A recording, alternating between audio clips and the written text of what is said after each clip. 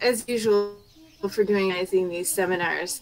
So today we have um, Liam. He is, this was your master's research, is that correct? Yeah, yeah that's correct. Um, and he studied forest elephant behavioral ecology. And I think this is especially exciting because um, in Akagera, there's a, um, a project starting up with, there was a position posted for um, an intern to study elephants, and the center is helping coordinate that with um, African Parks and the woman uh, Tammy Matson, who had.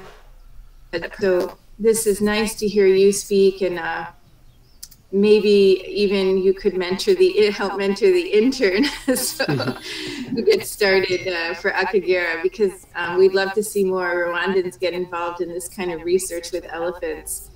So. Um, yeah, and I just want to mention also that Liam is in Rwanda now, right? You're you're in Rwanda mm-hmm. now. Yeah, she, he's with um, his partner is Megan Sullivan, who's um, a Fulbright um, fellow or scholar with the center for um, a year, and we've really been benefiting from having Megan with us. And then we're so appreciative that Liam, you you came to join her, and we hope to take advantage of your presence as well. Uh, so I hope all of you get to meet Liam um, while he's here as well. And I know many of you have benefited already from Megan's presence. So with that, I want to turn it over to you, Liam, and encourage people to put your questions and comments as they come to you. You can put them into the chat, and then at the end of the presentation, we will um, open it up and you can talk directly to Liam or we can take your questions and comments from the chat. So thank you so much. Yeah, thank you for having me. Um, so I am a current PhD student mm-hmm. at the University of Colorado Boulder, and I'm presenting work that uh, fulfilled my master's thesis, which I just graduated in December, uh, so it's still pretty fresh. And I was studying forest elephant behavioral ecology in a forest savanna mosaic ecosystem. Uh, so part of my goals for this project were to look at how group size and composition changes across the landscape mm-hmm. and throughout time, looking at the effects of habitat, resource availability, season, and time of day. Um, and I thought that this information could help to inform the life history of this species. We don't know a lot of forest elephants overall. Um, it could help reveal some of the drivers of fission fusion behavior, which is a very unique behavioral mechanism among elephants. Um, it could also help to predict their movement and behavior, and then outliers that are most in need of protection uh, throughout their uh, so I'm going to break this talk up, uh, much like I did my master's thesis, into two chapters. I'll have a brief introduction on forest elephants, the study site I was working in, and drivers of fission fusion behavior.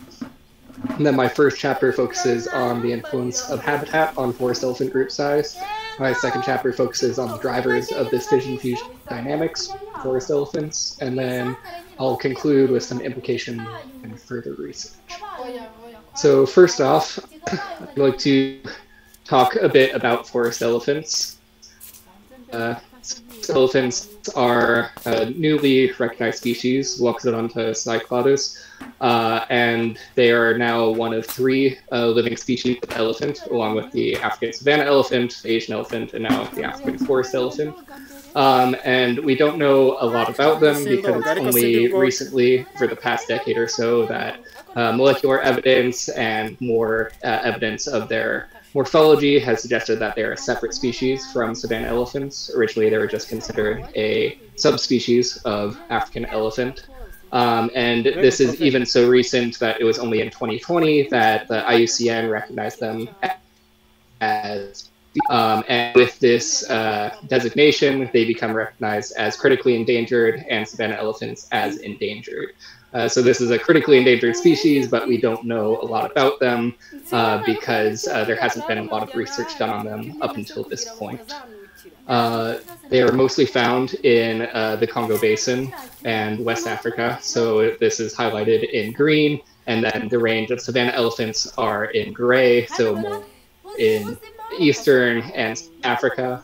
And uh, one of the things that you may notice about the forest elephant range is that uh, it takes place almost entirely within this Congo basin rainforest, uh, which is composed of very dense vegetation. And so this is an example of some of the habitats that they live in. and it is much more difficult to study and observe elephants in these dense tropical forests than it is in the open grasslands of eastern and southern Africa, where a lot of research has been done on African savanna elephants. Uh, so because of uh, most of the studies of forest elephant groups have been done at forest clearings known as baïs, and this is Dzanga Bai and in the Central African Republic, where a lot of long-term studies of forest elephants have been done. Um, and so baïs function as social arenas where multiple forest elephant groups join together. Uh, this is Langoué Bai in Gabon, uh, and these observation platforms where they will see elephants entering and leaving the bai and forming larger groups in these bai environments. Um, but this does not represent how forest elephants uh, behave throughout their uh, habitats, and so it's kind of this unique case. Um, where I was studying this was Wonga Presidential Reserve in Gabon, and I was curious to see if uh, these uh, four savanna mosaic ecosystems, which Wonga was one of them, uh, also function as arenas a lot like baïs do uh, in more dense forest. Uh, so a bit about my study site. Um, this is Africa. Uh, this is Gabon, uh, which is on, on of Africa. Um, and then within uh, Gabon, you can see Wonga Presidential Reserve, also on the western coast, in between the two largest cities of Libreville and Port-Gentil. And what you can see clearly in the satellite photo of the reserve is these very clearly delineated uh, savanna areas. So there's the central uh, savanna and then the coastal savanna areas and why there's this very clear distinction between them because the uh, savannas annually by uh, the park managers. This is a tradition that has gone back to uh, indigenous people living in the reserve, but then has also occurs naturally uh, with lightning strikes that will burn the savanna. Um, but in burning the savanna, it helps to uh, kill all trees colonizing uh, from the outside and help preserve these savanna ecosystems. So now I want to look a little bit at the drivers in fusion dynamics. Uh, and fission fusion societies uh, are those uh, of very highly social animals uh, where their group size and composition changes throughout time and space. Um, and there's not many uh, animal groups that do this, but uh, some of them are the three extant species of elephants. And so what this means is just that groups fusion, so they merge together and then split apart in fissioning. So they are able to uh, different environmental stressors. Um, now, in savanna elephants, they form these very large matriarchal herds, um, which are composed of these much smaller, more cohesive units. So they have a complex hierarchical society where these large clans are then formed as smaller extended family units uh, even smaller, closer family units, and then uh, at this base is this mother calf unit. Piece of base of this fission fusioning uh, society. Uh, now, forest elephants form much smaller groups, and the most common group size is just these mother calf pairs, uh, occasionally slightly larger uh, family groups. And so, uh, I wanted to look at what was causing this difference between these two uh, elephant species and their group size behavior. Um, now, when we're looking at optimal group size, um, it's there are different stressors that lead to larger or smaller group sizes. Um, forcing a group size to be larger is intergroup competition or competition between groups and risk of predation. These stressors will lead to larger group size overall. And then intergroup competition or competition within a group will lead to a smaller group size. Uh, so when looking at savanna elephants, they are their group size is mostly influenced by water availability and predation risk. And so both of these kind of lead to a larger group size overall. They uh, seek out these uh, ephemeral water sources, but once they find them, there's enough to sustain a very large group of elephants. And then also having larger groups can help against predation from predators of young elephant calves that occur in these habitats. but um, in forest elephants, they don't have any natural predators, at least in Wonga where we worked, and water is very uh, abundant throughout their range. So, what could be leading to these smaller groups? And one of the hypotheses is that it's led by fruit availability. Um, now, in uh, many primate groups where they've done studies on their group size, they found that group size increases with greater fruit abundance. Um, but in uh, the fruiting trees can be very quickly depleted by a large group of elephants. A single elephant can eat as much as a thousand fruits in one day, and so this might lead to more competition within groups for these patchily distributed fruiting resources. Um, so if we revisit this optimal group size model, uh, in the savannah, it's kind of this balance between uh, with not a lot of stressors leading to a smaller group size overall. Uh, but then in the forest, this increased competition for fruits could lead to a decreased optimal group size, as well as the removal of the predation risk and other stressors leading to a greater optimal group size. Uh, so now I'd like to talk about the first chapter of my research, which is the influence of habitat. Um, and so this was done in the Presidential Reserve uh, by following these colored elephants. Uh, we were uh, following the elephants to look at their social behavior as well as collecting information on their diet and habitat. But at the same time, I would see many uh, forest elephant groups that weren't colored. I would collect information on all of the individuals in these elephant groups. Uh, so for each individual, I would age them based off of this aging rubric of uh, because elephants have a deterministic growth, you can age young ones based on their height relative to an average adult female. Uh, so usually their mother in this case. So um, up to five years, they'll be less than half the height of the mother. Between five and 10 years, they'll be up to 75% the size of the mother. And then uh, after that, they can be considered as adult, at least for uh, this very rough survey. And then I also tried to age or uh, sex all of the adult elephants, uh, which is just based on general head morphology and genitalia, if they're visible. Um, so then from this, I categorize all of the groups into different group types. Uh, so there are solo males, solo females, multi-male, multi-female, male-female, female immature, and then male mixed groups, which are uh, male-female immature groups. Um, but there are three groups that were kind of the most common, and that's just these solo male groups, female immature groups, and then these mixed groups.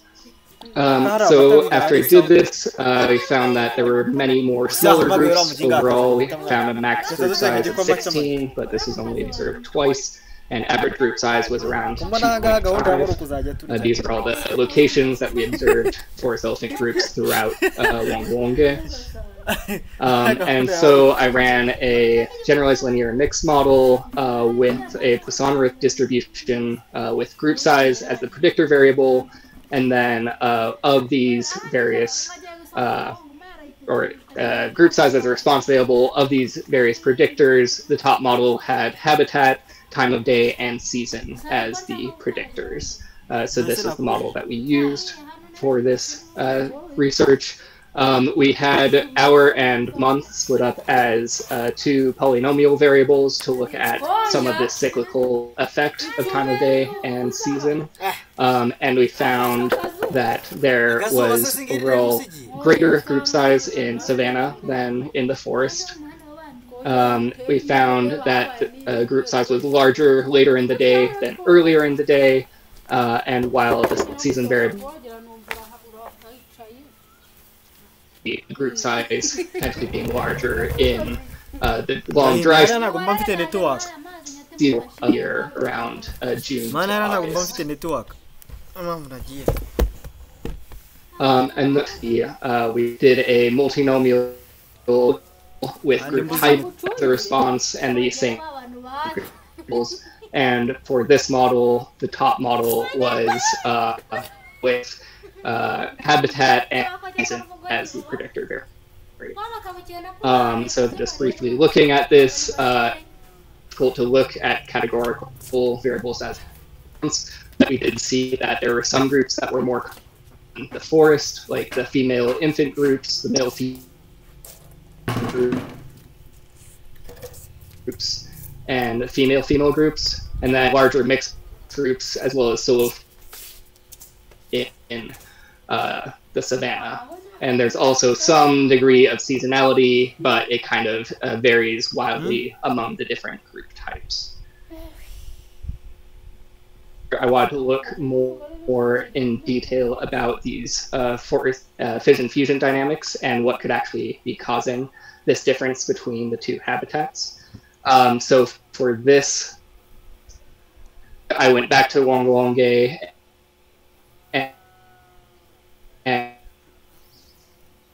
Was driving the reserve, did aerial surveys with WCS, and we found uh, we were able to take some elephant groups if they were close enough. Then I also set up camera traps in the forest uh, along forest elephant trails, uh, set in video mode to capture all of the individuals that would pass by. Uh, and we also conducted uh, fruit transects uh, the previous year uh, to look at when fruit was most abundant, and in Wonga Wongué, mm-hmm. it's mostly Ozouga or Sacoglottis gabonensis. That's the primary fruit that fruits during, again, August at a time.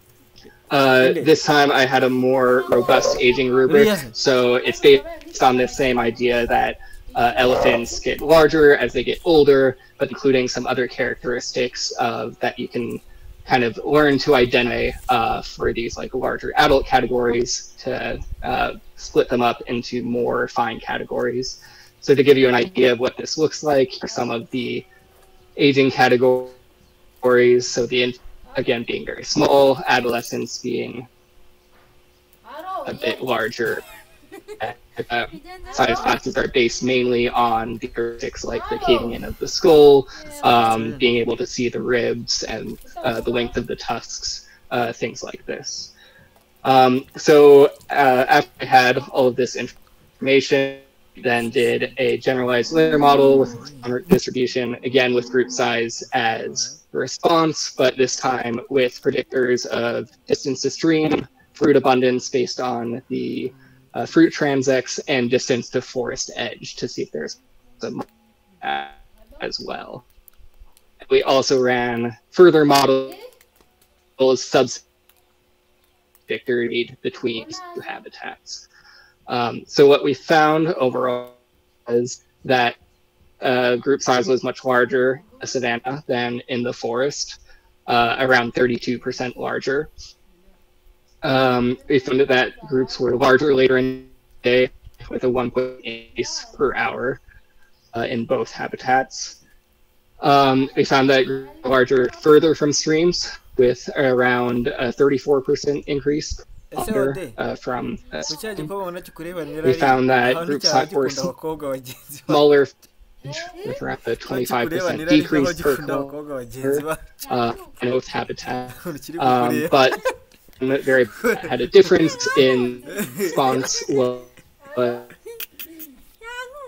a increase in uh, group size by 1.6 percent. It's Actually, a decrease the forest, um, and so it could be fruit abundance that driving this great of uh, the larger or smaller group size in savanna versus forest habitats as well. Um, so then I also ran a model with uh, the percentage of males. So we had percentage of males as the uh, response variable, and then again ran it with the same predictor variables. And we found that uh, time of a 3.8% low percent in all habitats. Uh, since the forage edge significant with a 70% increase in percentage per kilometer from the forest edge. Um, and that with fruit abundance, there, it was a forest with an increase in the percentage of males with increased fruit and a decrease in the savanna. So again, kind of this uh, paradoxical effect.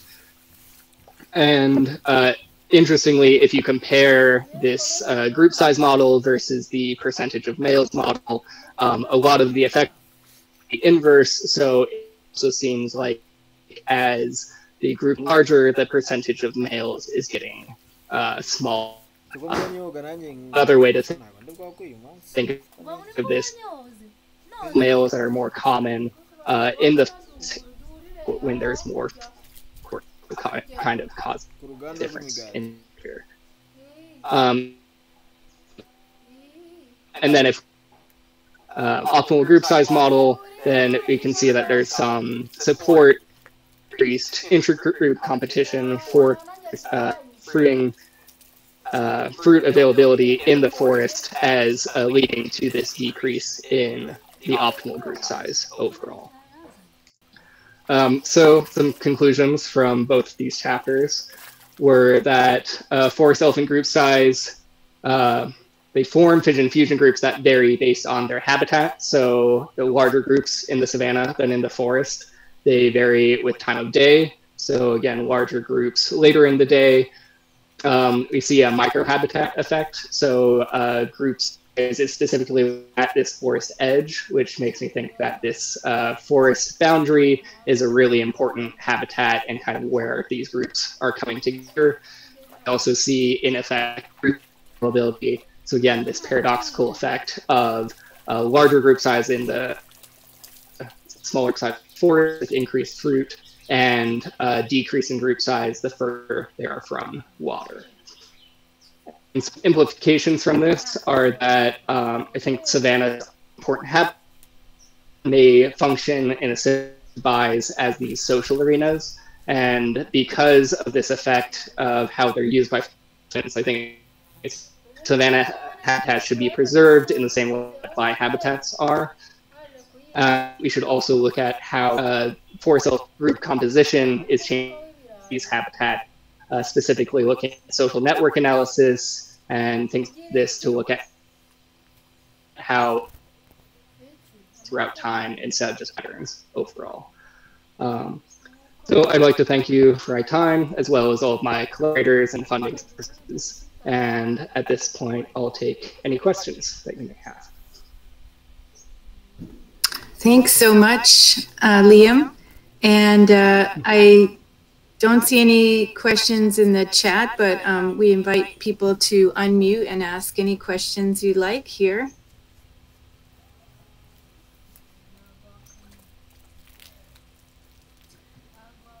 Um, well, well, sometimes people take. Um, you have any thoughts about um, what might be going on on like application or um, findings and takeaways from your research to uh, the context of Akagera National mm-hmm. Park, where it's quite different, you know, where you have a, a fenced uh, area and um, yeah, the elephants were, were brought into the site. And of course, they're not nah, I considered forest elephants, but I'm just wondering if you could mm-hmm. make some maybe hypotheses or predictions about about that location. Yeah, definitely. Um, so yeah, I think I'd be interested to see um, if anyone has done similar research uh, on savanna elephants in habitat. It seems like uh, savanna elephants don't eat like fruit a large part of their diet. It doesn't seem like that would be as for in the way as it is for forest elephants. But uh, maybe if there's like more high quality browse in some areas than in others, then that could lead to a similar effect happening. Uh, and the habitat in Akagera is very heterogeneous. You know, you do have these more like swampy areas, you have these open grasslands, and so I'd be interested to see if a similar uh, fusion and not always in these yeah. large herds, and so like what's causing them to sometimes be in the open and then other times uh, split into these smaller groups. Yeah, that makes sense. Um, yeah, are there any questions or comments about anything that Liam presented? Hi, Liam. Um, this was such a really interesting talk, so thank you for um, joining today uh, and exposing us to something from a different area of Africa. Um, I was just curious. I thought it was really interesting that you said that there's no natural predators in in the park where you worked, and I'm curious if that's because predators have been extirpated from that area, been predators um, uh, in that area that would prey on elephant, and if there is that something that's similar across forest elephants that these this would be something that you would a dynamic that you would see in other areas where there might be impact of uh, availability on fission fusion dynamics because predators have more forest elephants in this area. Um, mm-hmm. So I'm curious how uh, time over space uh, uh, that is. Yeah, uh, that's actually. Um, so in Wonga there have never been any uh, large predators of elephants. So it's usually just lions and um, I believe some other large cats. There has been like one account of a leopard taking uh, an elephant calf, but it's rare enough that it doesn't seem to be a cause for concern. So that's the only uh, like possible predator, at least in Wonga um, and I think that's a common thing uh, throughout a lot of the forest elephants range. So if you look at a lot of the Congo Basin forest, I found there aren't a lot of these large predator species. Um, but I think they could be more common uh, like in these forest savanna mosaic habitats. Uh, so I know there's some larger predators uh, in like the Plateau Bateke area of Gabon uh, leading into Republic of Congo, and I think also in some of their range throughout Western Africa uh, more big cat species that could be predators. But I think that's definitely could be one of the reasons that they have this smaller group size is that they don't need to protect their predators in the same way as savannah elephants do.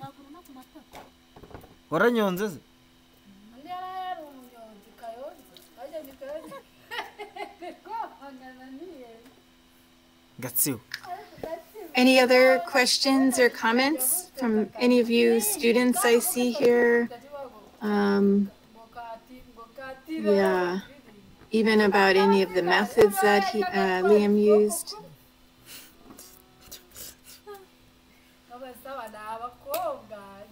All right.